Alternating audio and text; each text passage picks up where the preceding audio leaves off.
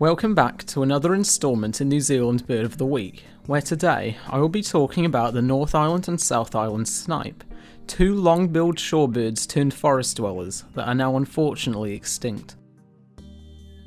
New Zealand snipes, or austral snipes as they are otherwise known, are small birds which are now only found on New Zealand's outlying islands.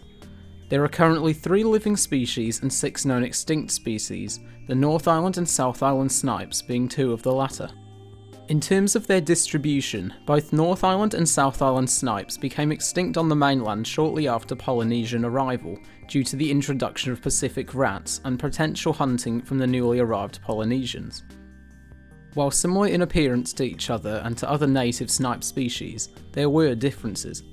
South Island snipe possessed mottled chestnut and black upperparts with a band of dark mottling across the chest, grading into a lighter stomach region, the North Island snipe differs from its South Island counterpart in having a large area of buffy white on the chin and throat, as well as finer, lighter markings on the feathers of the breast and belly.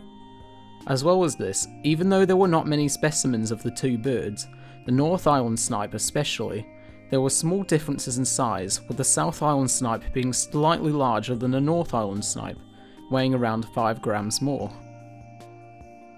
As stated in the introduction, the North Island and South Island snipes were forest dwelling birds that existed throughout mainland New Zealand, as well as in a few selected outlying islands, which is mostly unlike that of their relatives, who prefer more open, marshy environments.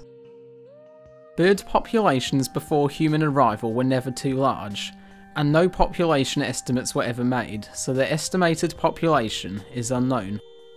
One of the most interesting traits that these extinct snipe possess, alongside their extant relatives, is a loud noise produced by the birds that is very loud and quite terrifying in person, having been described as hair-raising, and the sound produced in Maori mythology was attributed to belong to that of the Hakawai, a massive mythological bird that was only heard calling out its name of Hakawai, before making a loud rumbling noise akin to that of a modern plane or roar from a large predator, which you can listen to here.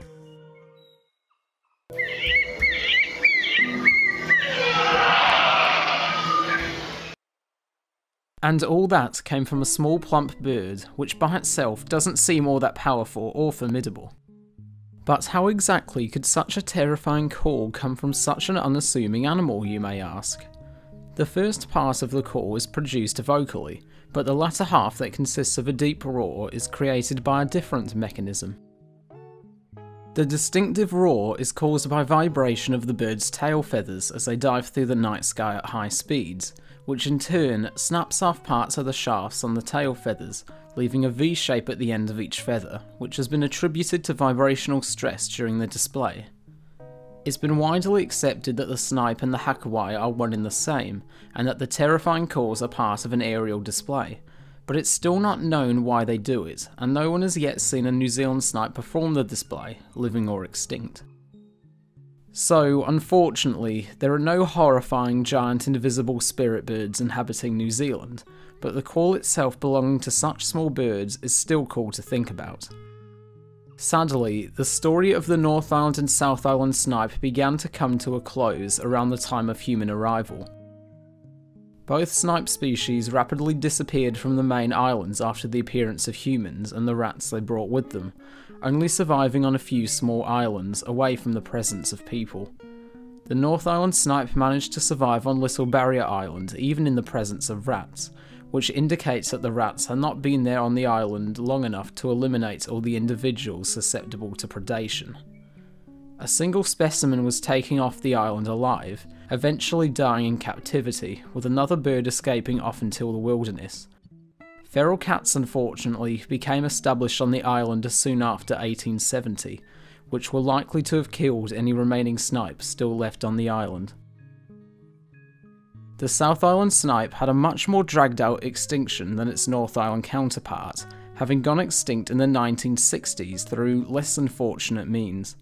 Whilst they existed on a few islands, including Stewart and the Solander Islands, they were eventually wiped out on all but the island of Taukihepa, where they just managed to hang on.